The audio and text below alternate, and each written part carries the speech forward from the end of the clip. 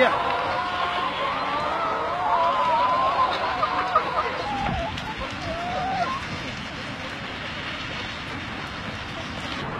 ...1980 İstanbul siyasal mezunuyum. Şu anki Marmara Üniversitesi'nin temeli olan İktisadi İlimler Akademisi'ne bağlı siyasal mezunuyum. Hedeflerim, hayallerim, beklentilerim vardı. O günkü bürokrasinin kendine özgü kuralları nedeniyle gerçekleştiremedik. Okulun yeni oluşu idealleri maalesef külledik. Bir müddet İçişleri Bakanlığı'nda müdür görevinde bulundum. İçimdeki uhdeler nedeniyle kendi isteğimle istifa ederek ayrıldım.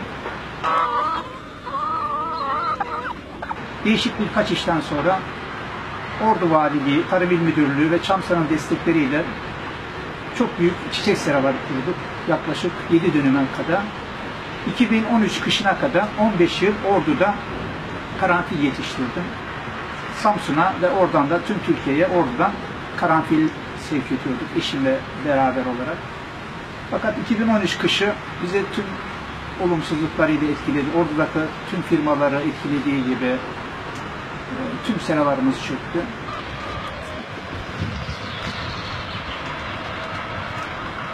E, Tekrar ayağa kalkabilmemiz için o dönem bir 100 tavukla bu tavuk işine girmiştik.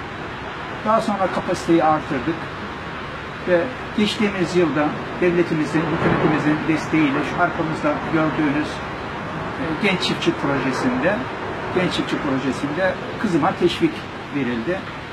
Ve bu şu anda ordu piyasasında ürettiğimiz ürünleri pazarlayabiliyoruz. Hiçbir sorunumuz yok. Bizi tercih ettikleri için yetkililere huzurlarınızda teşekkür ediyorum.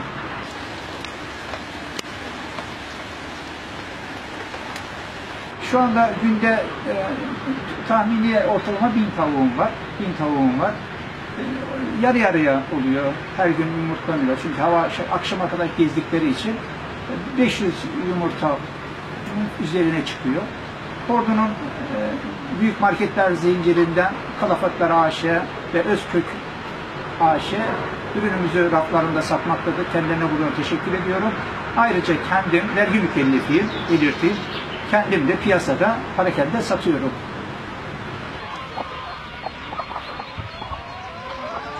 Ya geleceğe doğru biraz daha büyütüp yanına et tavuğu da koymayı düşünüyorum. Çünkü müşterilerim doğallığa e, yatkın arayış içindeler. E, kesimlik et tavuğu siz de gördüğünüz gibi hayvanlarım tamamen 20 dönümlük arazide yağmur yağış gezmektedir. Et tavuğu ve kapasiteyi biraz artırmak istiyorum. Tabi burada en büyük e, ricam yerel zincirlerin bazıları duyarsız kalıyor. Büyük firma İstanbul merkezli ulusal firmalar ise tamamen duyarsız kalıyor. Aslında hepsiyle birebir görüşmem oldu. Fakat aslında değerlendirilebilir. Ordu'daki müteşebbislerin önü açılabilir.